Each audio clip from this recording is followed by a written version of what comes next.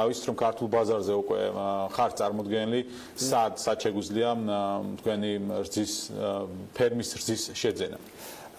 გამარჯობათ პირდაპირ გეტყვით ჩემი რძის შეძენა შეგიძლიათ სოფელ გამარჯვებაში იქ ესეთი როგორ გითხრათ, არის მითითებული გადასახვევზე ვირლანდია, ანუ ჩვენ კოოპერატივს ვირლანდია ქვია, შეგიძლიათ დამირეკოთ ჩემ ნომერზე და ჩვეულებრივად კი ბატონო, თქვენ გქონდათ გეგმაში რომ გარდა თქო საქართველოს ბაზარზე გამოსვლას, თუმცა ეს უფრო შეორეული პერსპექტივა იყო ექსპორტზე გატანა ვირის თვის და მისი ყველის, რომლის წარმოებაც საკმაოდ რთულია და დაკავშირებული ასე თქვათ დიდ მოცულობებთან, რასაც ვერ იძლევა რეალურად დღეს თქვენი ფერმა. დიახ, ჩვენ გქონდა შემოთავაზება უბრალოდ ძალიან დიდი რაოდენობით უნდათ ევროპაში და ამის საშუალება ჯერჯერობით არ არის. ნუ გვაქვს წარმადობა ძალიან კარგი, ავედით უკვე ალბათ 5 ლიტრზე დღეში და უკვე დავიწყეთ ყველის წარმოებაც, მაგრამ ნუ იქ ახლა თუ ევროპის რომელიმე ქარხანას დაუდათ ხელშეკრულებას, ჭირდებათ ალბათ 50 ლიტრი მაინც, 20 ლიტრი მაინც დღეში.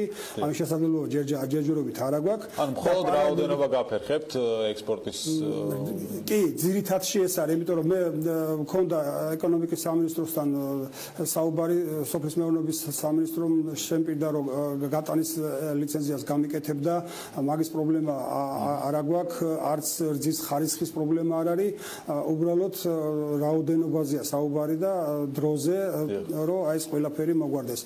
პარალელურად, რა თქმა უნდა, ნელა-ნელა დავიწყე ყველის წარმოება, უბრალოდ ძალიან ძვირია. ეს ახლა თქვენ წარმოიდგინეთ, 1 კილო ყველი რო აბოიყვანო ჭირდება 20 23 25 ლიტრი რძე ან 25 ლიტრი რძის კონცენტრაცია ჩადის 1 კილოში წარმოგიდგენიათ რამდენად 5 დღის ასე თქვა თუ 5 ლიტრზე ხარ წარმადობის დღეში 5 დღე ასე თქვა უნდა მოაგროვოთ რომ 1 კილოგრამი დღირებულება რა არის მთლიანად აი წარმოგიდგენთ რძის ღირებულება 1 ლიტრის საქართველოში არის 60 ლარი ევროპაში ეს არის 60 ევრო და ყველის ღირებულება ну სადღაც 1500 1500 ლარამდე გამოდის იქიდან გამომდინარე რძის ფასი როგორიც არის. დე ხო 1500 ლარი გამოდის 1 კილოგრამი ყველის ღირებულება. რძესთან დაკავშირებით უფრო აქტიურად ასე თქვა ჯერჯერობით რძეს მოიხმარენ დიახ.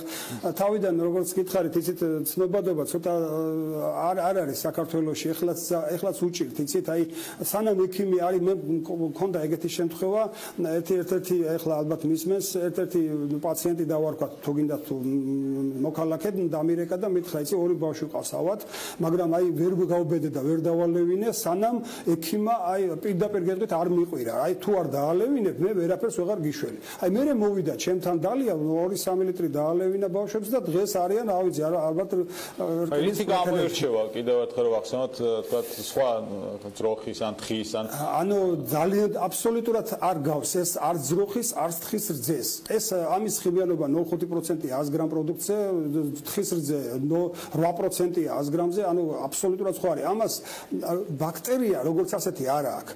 ანუ მოდუღება არ ჭირდება. ანუ ის ის ვარიანტი რომ თქვა ცხიმიანობა რომ დაბალი აქვს, ამის ამის ხარჯზე ამას აქვს უამრავი დადებითი თვისება. და არაფრით არ არ ჭირდება აბსოლუტურად მოდუღება. მიიღება ნედლად ძლებს სადღაც 5-დან 7 დღემდე აბსოლუტურად მაცივარში +2 გრადუსზე და შემდეგ თუ ეს რა თქმა უნდა მიძველდება, მე უკვე კი არ ძველდება, უბრალოდ დრო რო გადის, უბრალოდ ყველს ვიყვან მაშინათვე და ამით უკვე ვაფიქსირებ ყველა რა თქმა უნდა გარდა თქვა საკვებისა ძალიან ბევრი ამაში გამოიყენება როგორც როგორც გავარკვიეთ თქვა კოსმეტიკურ წარმოებაში ფარმაცევტულ წარმოებაში თქვა ამ მიმართულებით რეალურად არის არა საქართველოსში ვერ დავძარი ეს საკითხი იმიტომ ძალიან ძნელია არ არის არც ფარმაცევტული ქარხანა როგორც ასეთი ქარხანა არსებობდეს აქ უბრალოდ ფარმაცევტიაში ალბათ შემოაქვთ და აფასოვებენ და ამას ეძახიან ქარხანას ნუ არ ვიცი ახლა როგორ მე ვერ შევედი ფაქტობრივად ვერაფერი ვერ გავაკეთე. უпроსტორად სამედიცინო სფეროში ერთადერთი სამინისტრო რომელმაც არ მიპასუხა. ეკონომიკის სამინისტრომ ძალიან დადებითად მიპასუხა და დიდი მადლობა მაგათ რომ უბრალოდ მე აწარმოე საქართველოსში დამაფინანსეს და ძალიან დიდი პასუხისგებლობა ავიღე ჩემ თავზე და დიდი მადლობა მაგათ, მაგრამ ანუ ჯანმრთელობის დაცვის სამინისტრომ არ მომწერა, არ აინტერესებთ, არ ვიცი რა რა ხდება, არ ვიცი.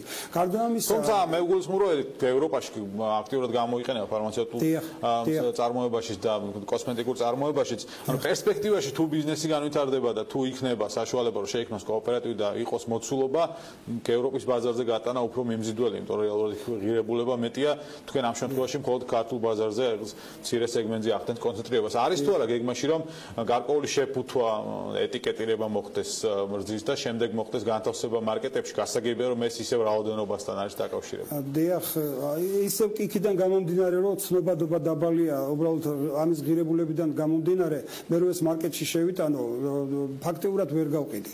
იმიტომ რომ არის ის ადამიანი, მაგრამ ისთვის მოიხმარება, ზოგი ისე უყურებს სიცილით, ზოგი ზიზღით, რა ვიცი, ახლა ეს რძე არ არის და მე ამას რძედ არ არ აღვიქვა. ახლა მე გეტყვით ერთ რაღაცას, მე ადამიანი რომელმაც დამირეკა და მთხოვა, უბრალოდ აი ეს ნაღდად ფაქტია, მე მაქვს აგერ ტელეფონის ნომერი შეუძლია გადაამოწმოს, ახლა ალბათ მისმენს ის ადამიანიც, აუ დამირეკაზე მეთქეს, იცი ჩვენ მეზობელს ესე აღმოაჩნდა სისხლის გათეთრება, უბრალოდ 90-14% ქონდა იმას თეთრი ფერმენტები და მე მე ავიჩე ჩემხრები მე ვთხარ მე მოგცემთ ამას, კი ბატონო, მაგრამ ეს წამაღლი არ არის, ეს მე ვერაფერს ვერ გიშველით, ახლა ამით და დალიეთ მეთქი.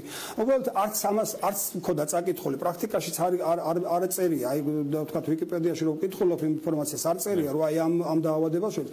წაიღო და ნუ ის ადამიანი გადარჩა, ჩამოვიდა თეთრი ფერმენტები 24-ზე, დღეს მშვენივრად გზნობს თავს და რა ვიცი, მე მე მთელი სოფელი მიერეკავდა და დიდ მადლობას მიხდიდა. მადლობა იმათ, რომ ესე დამიჯერეს და ანუ რა მინდა გითხრათ, თვით შეგნება არ არის ადამიანის ისე ვისული, რომ იცი ეს ეს ყველამ უნდა მიიღოს. ეს არ არის მარტო აი თქვათ კულისებში ჩვენ საუბრობდით სახის კანის გამჭიმის საშუალება. ეს არის განს აი ანუ ხანგრძლივად ჯანმრთელად რო იწოცხლო აი ის საშუალება. ხო ამას ჭირდება ალბათ დროც და დროთა განმავლობაში თქვათ ამ პროდუქტის მომხმარებლების რაოდენობაც უფრო გაფართოვდება.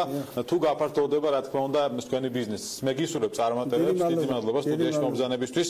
მართლაც საინტერესო მიმართულება ძალიან თქვენ ხართ ესე თქვათ საქართველოს ამ მიმართულების პიონერი ასე გამოდის